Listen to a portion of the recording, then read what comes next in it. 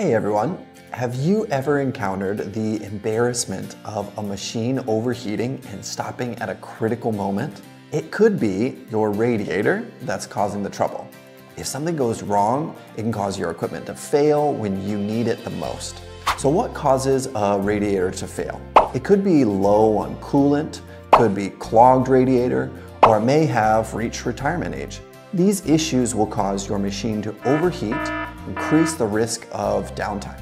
Therefore, a suitable radiator is definitely a best partner for your device. Next, let's talk about how to choose a radiator that suits you to ensure your equipment always runs efficiently.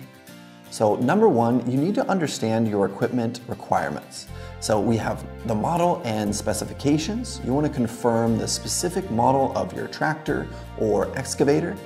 The heat dissipation requirements of each model may be different. And number two, we wanna check compatibility. So the first thing is the dimensions, your length, your width, the thickness, make sure the radiator's physical dimension actually fit the device's installation space. Number two is mounting hole spacing. So measure the location and the distance of the mounting holes to ensure they match the device's mounting frame. And number three, we have interface type, your inlet and your outlet dimensions.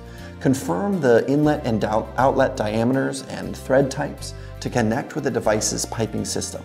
Number four, we have interface location. Make sure the interface location is aligned with your device's piping system to avoid interference during installation. Number five, mounting location.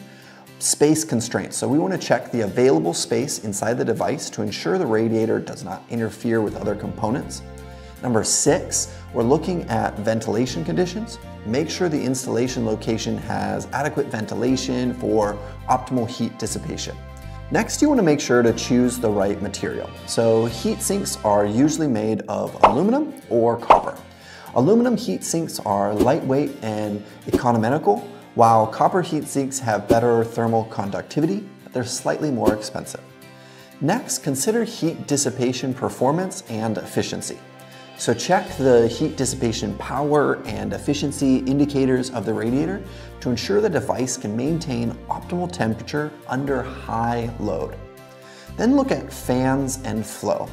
Some radiators are equipped with fans. Make sure the fan's air volume and the quietness meet the requirements. Then number five, we're looking at after sales service. So you wanna check your warranty terms, confirm the warranty period and coverage, Good after-sales service can provide timely support when there are problems with the product. Then technical support, we want to choose a supplier that provides technical support to help solve problems encountered during your installation and use. If you're not sure how to choose, you can always consult our mechanical engineers, our equipment technicians, who can provide professional advice based on your specific needs. Ensuring the efficient operation of your equipment depends not only on the right purchase, but also on ongoing maintenance. Below we'll share some key maintenance tips to help you extend the life of your radiator and keep your equipment performing at its best in a variety of environments. So number one, regular cleaning. Use a low pressure water or an air compressor to remove the dust and debris from the radiator surface to maintain good heat dissipation. Number two, check the coolant.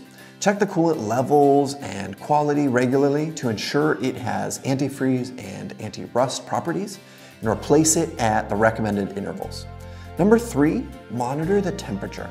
Check the accuracy of the temperature sensor, ensure the radiator is operating within the optimal temperature range, and ensure that the overheating alarm system is functioning properly.